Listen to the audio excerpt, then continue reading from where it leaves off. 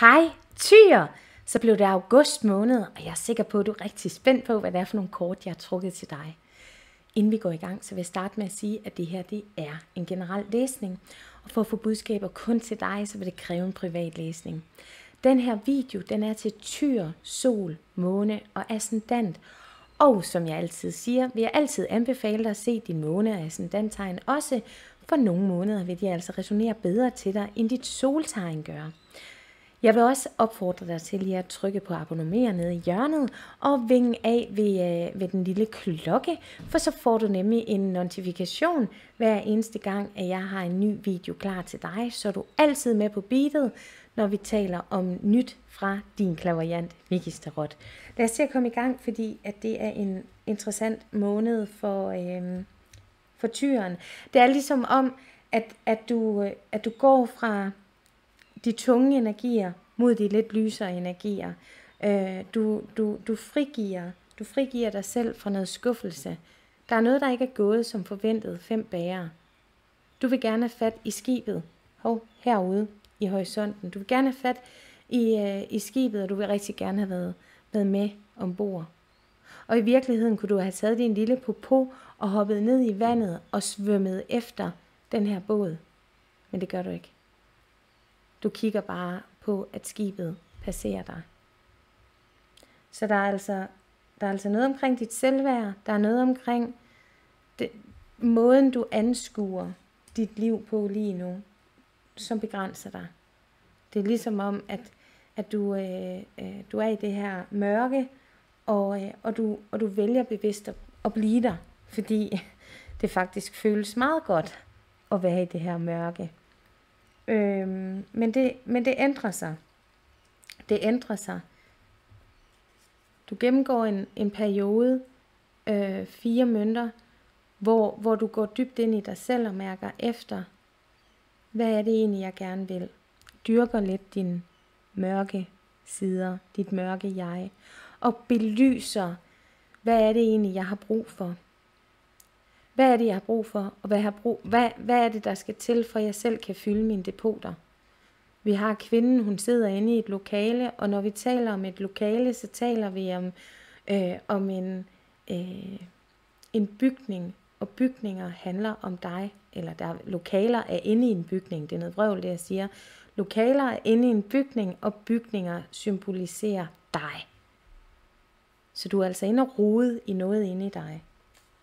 Det er lidt mørkt, og det er lidt skummelt, men det er noget, du er nødt til at skal til, for at du kan træde ind i den her nye verden.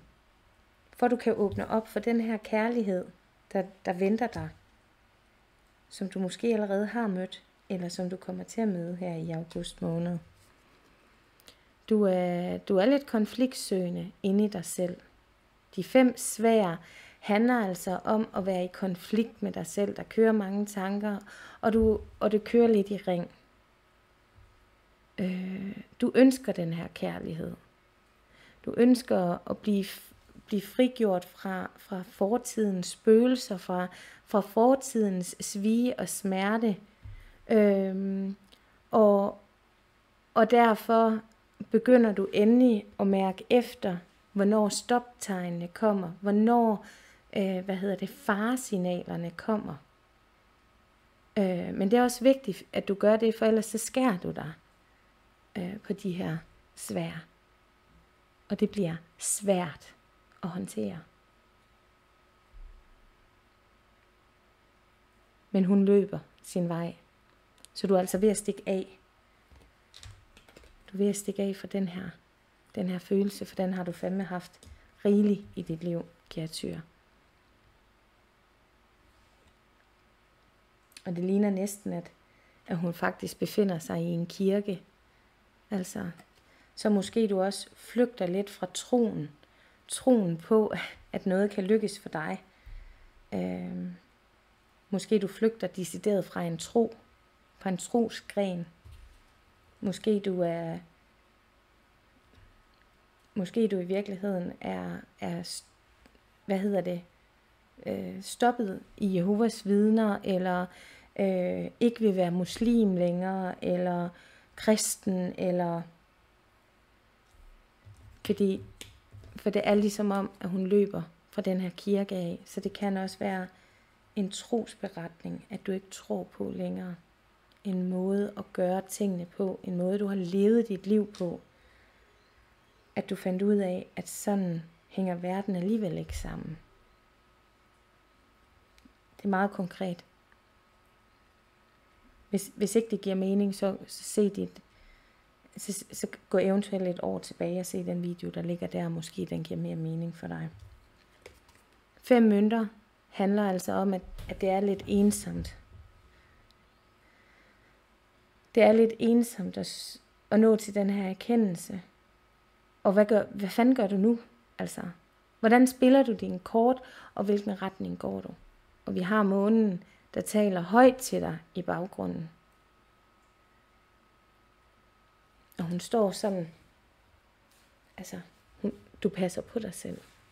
Du holder om dig selv. Du passer, du passer på dig selv.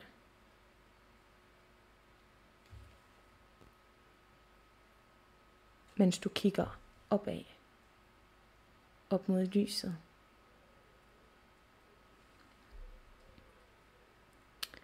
Og når vi ser cirkler, så ser vi afslutninger af cykluser. Og det fortsætter jeg med, fordi du har page, sværnes page. Og hun står i sit lys og shiner. Og det gør du også. At du tager styringen. Og du lærer dig shine. Og, og, og der er altså et, der er et valg, der er et valg, du træffer, du bryder ud af, du bryder ud af nogle normer eller nogle rammer, der ikke matcher dig længere, som ikke passer dig længere. For du, tra- du er træt af at tvivle, du er træt af at se festen sejle afsted med nogle andre. Så uanset om det er religion, vi taler om, eller om det handler om kærlighed, eller om det handler om, at, at den måde, du lever dit liv på, at, at det kan du ikke fortsætte med at gøre, fordi så får du ikke det, du ønsker dig. Og det, du ønsker, det er kærlighed. Du ønsker at få kærlighed ind i dit liv. Men, men der er noget, der blokerer dig. Og du ved udmærket godt, hvad det er. Og derfor kommer du ikke derhen lige nu. Syv svær. I kortspil plejer man at sige, en syver flyver. Og det er næsten som om, at du flyver. Prøv lige at se. Du åbner armene. Og hun har den her hvide kjole på, og hvid er symbol på nye begyndelser. Noget rent, noget nyt. Øh, en baby, der bliver født. Altså noget helt nyt. Noget nyt, der kommer til dine arme. Og prøv at se, hvordan du shiner. Du shiner virkelig, altså. Og du er på vej ned ad trappen. Så det, det føles nemt, det her. Når først du har fundet ud af, hvordan, så bliver det pisse nemt.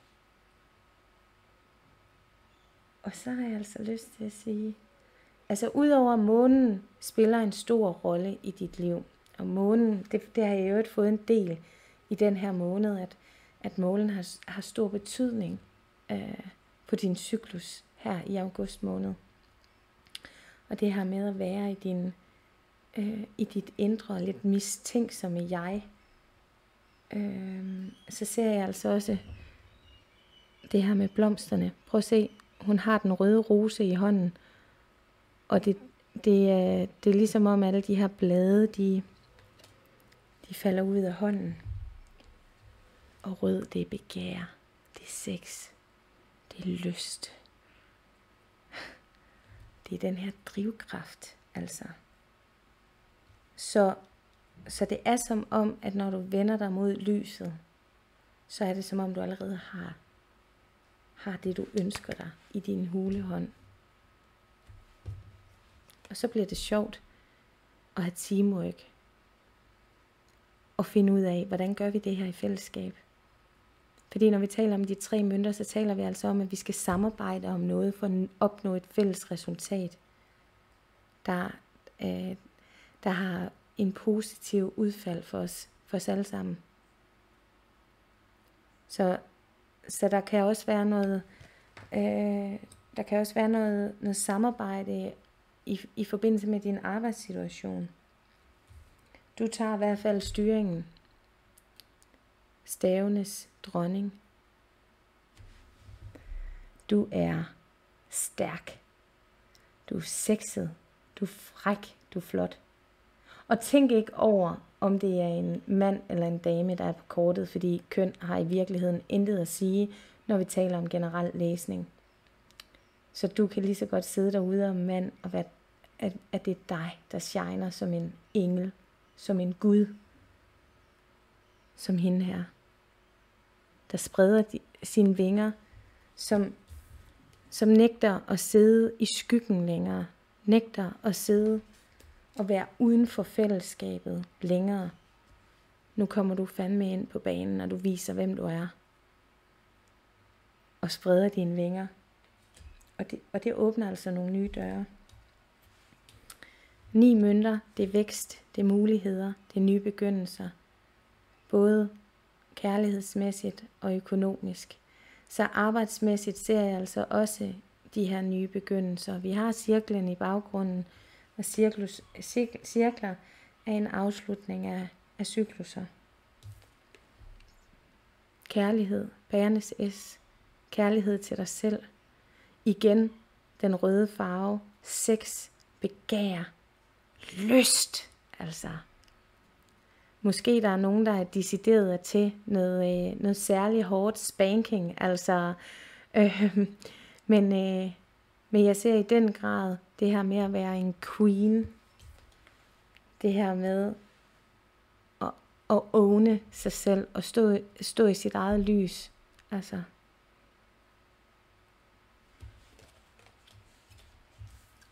Og lige ved siden af bærende S, der har vi The Lovers. Så vi taler altså om en sjælekontakt. En soulmate-kontakt. En dyb, dyb kontakt hvor I virkelig mærker hinanden på alle niveauer. Og jeg får også den her fornemmelse af, at der, der, det handler rigtig meget om tillid. Nu, nu sagde jeg spanking før, altså, øh, og, og der er, altså, det oser jo af sex i den her, i den her læsning. Øhm, og jeg har altså lyst til at sige, at måske nogen begynder at, at befærde sig inde i SM-verdenen, i, øh, øh, hvad hedder det, swinger verdenen. For, jeg, for, jeg, altså, for rød er også symbol på stop-tegn. Og jeg har den her følelse af, at der er altså nogle ting, der skal tales om, inden vi går skridtet videre. Tag det, som der resonerer. Altså, med nye begyndelser. Et, et partnerskab bygget på tillid, øh, og hvor vi, hvor vi kan kigge hinanden dybt i øjnene, og hvor der virkelig opstår sød musik, energi og den her kemiske reaktion, der opstår, fordi at vi begge to diger af lyst for hinanden på et sjæleligt plan.